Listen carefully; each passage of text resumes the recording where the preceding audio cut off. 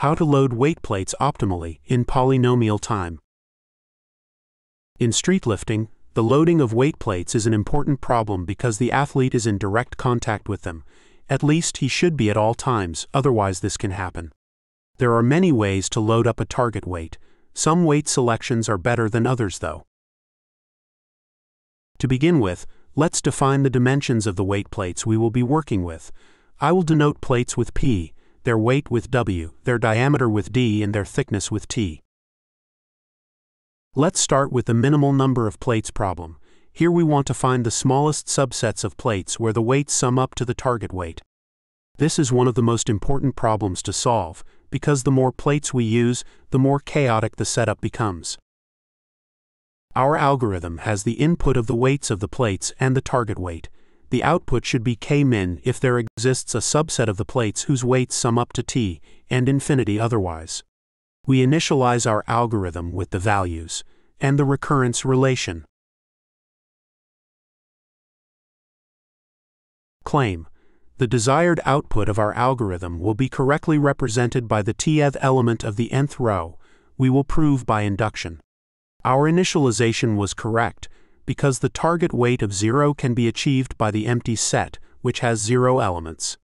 Positive target weights cannot be achieved using a subset of the first 0 elements. Our induction hypothesis, up to i for all j between 0 and t, the algorithm, outputs the minimal size of the subsets of the first i elements that sum up to j and infinity if there is no such subset. Then, for the inductive step, if we don't use the i plus first plate, then the problem is reduced to dpij. If we use it, the reduction goes to dpij minus wi plus 1. The minimum of these values determines the correct decision, exactly as it is in the recurrence relation. This algorithm works only for integer inputs though, but we can approximate weights by rational numbers. Scales usually measure up to two digits of precision, so that will do it for us. We can make integers out of the rational numbers if we multiply by the least common multiple of the denominators, and then we can run the algorithm with these integers as input. Converting weights into simplified fractions has two steps. First is the conversion to a fraction. The second is the simplification by a factor of the greatest common divisor of the numerator and the denominator. Both of these actions take constant time with respect to input size.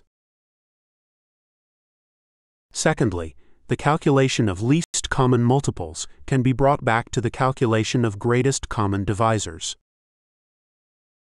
Multiplication by the least common multiple also takes constant time. Finally, running the algorithm with the new input takes ordo n times t dash time but t dash is just a constant multiple of t, and t changes linearly with n.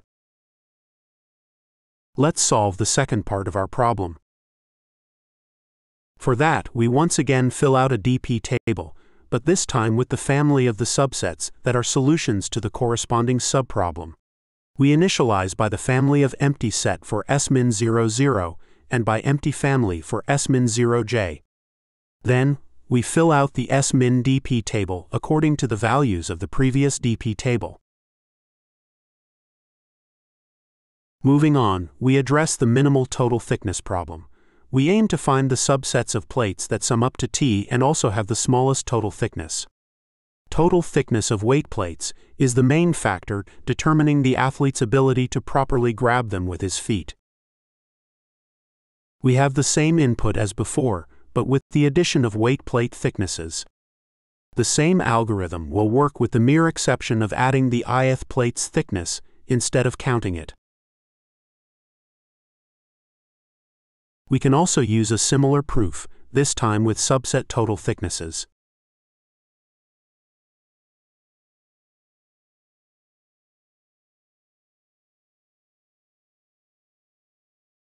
We can solve the second part of the problem similarly as well. We initialize with the same families of subsets, and once again we refresh them if we've found subsets with lower total thickness. So far, we've looked at problems where the output was a family of subsets, but not all permutations of those subsets are equally comfortable for the athlete. An asymmetric loading can cause imbalances in the execution of the lift. We also don't want plates with smaller diameter in between plates with larger diameters. In an arrangement, consecutive plates are touching each other.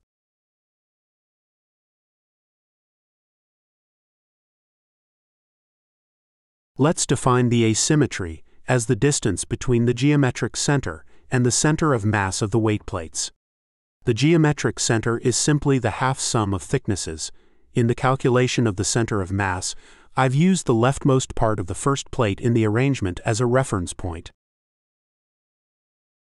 After those definitions, we can finally state the problem. In all its generality, this problem is NP hard, because the partition problem can be reduced to it, which is a known NP-complete problem. Let's define competition standardness with the following three properties. These properties together ensure that in the output of the minimal number of plates problem, all subsets will have a bounded amount of the weight plates that are not the heaviest. Let's consider the standard set of calibrated plates. In this case, we can set an upper bound of 13 for the number of non-25 kg plates in all minimal size subsets. Actually, we can set an even stronger bound of 8 because not all these weights can appear in a minimal size subset. Strong competition standardness requires infinitely many of the densest plates, and for them to have the same thickness.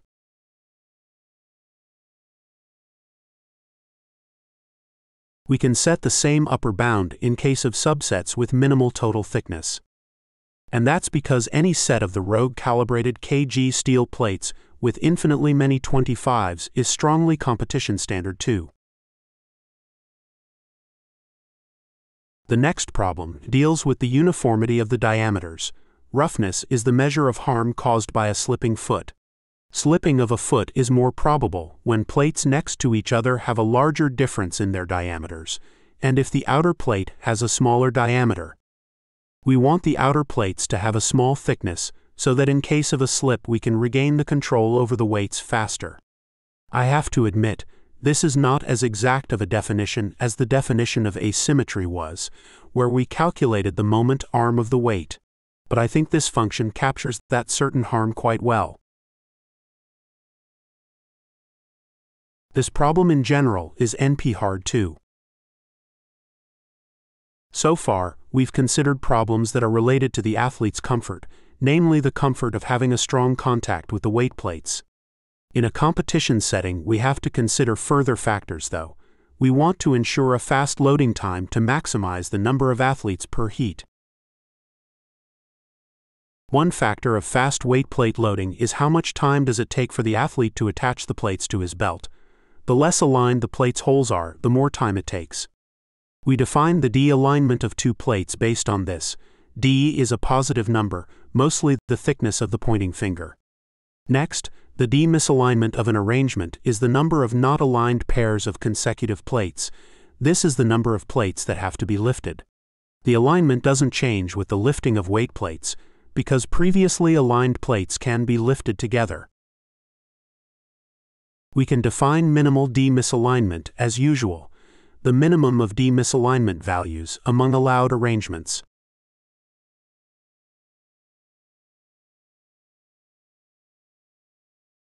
Finally, we address the minimal dissimilarity problem.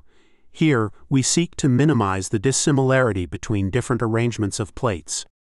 This is the other factor influencing the loading time. How many plates do the spotters have to change?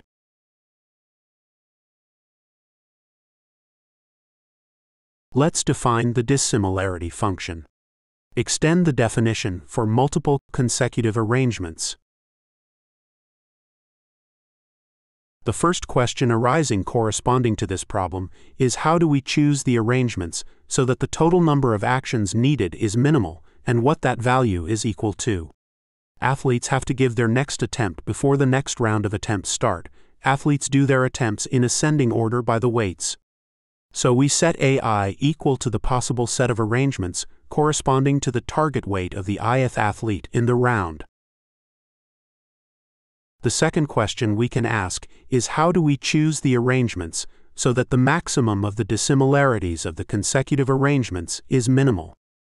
This is an important question to ask because how smoothly a competition runs will be primarily determined by the least smooth parts of it. We can calculate the dissimilarity between two arrangements by dp. We initialize by the following values and define the recurrence relation as such.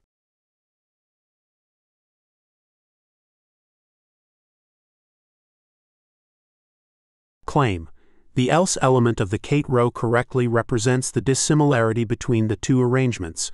Once again, we prove by induction. We've initialized the algorithm correctly, because the dissimilarity of two empty arrangements is zero. The dissimilarity of an empty arrangement and an arrangement containing i elements is i. We have to delete all the elements. Our induction hypothesis dpij, dpi plus 1j, and dpij plus 1 all correctly represent the dissimilarity of the corresponding subarrangements. As for the inductive step, if the i plus first element of the first arrangement is the same as the j plus first element of the second arrangement, then the problem reduces to dpij since no further action is needed. Deletion of the last element brings back the problem to dpij plus 1. Adding the last element of the second list brings back the problem to dpi plus 1j. The correct decision is determined by the minimum of these two values. One way to put all these algorithms together is to first run the minimal number of plates, or the total thickness algorithm, depending on our set of weight plates. Then, calculate the minimal asymmetry for all these subsets, as a third step, return all arrangements of these subsets that have the lowest minimal asymmetry. Next, calculate the roughness of all these arrangements. Return those that have the lowest value. Calculate the misalignment of each of these arrangements. Return those with the lowest misalignment. In a competition setting, we can go further by doing this process for all of the target weights. As a final step, we choose an arrangement for each of the target weights such that the dissimilarity is minimal. Another sensible way to put these together is, once again, start with the minimal total thickness, but now this time switch the order of minimal asymmetry and minimal roughness. This could be the favorable order in case of muscle ups, where the weight is small, so asymmetry matters less, but roughness matters more because of the larger extent of leg movement during the exercise. We could also combine the misalignment and the dissimilarity into one loading time function. We could determine C1 by measuring the time it takes to pull the daisy chain through a consecutive pair of misaligned plate holes. C2 is just the average time it takes for the loaders to change one plate. The linear combination of these two functions would be a good model for the total loading time. Why do I bother with this? Can't we just use the powerlifting algorithm, which runs in ordo n squared time, well, that algorithm at best gives one solution to the minimal number of plates problem. Arranging the plates in descending order by their weights, as the algorithm deletes them from the remaining set of weight plates, could be a highly suboptimal arrangement. It is easy for the spotters to see the necessary weight plate changing actions though.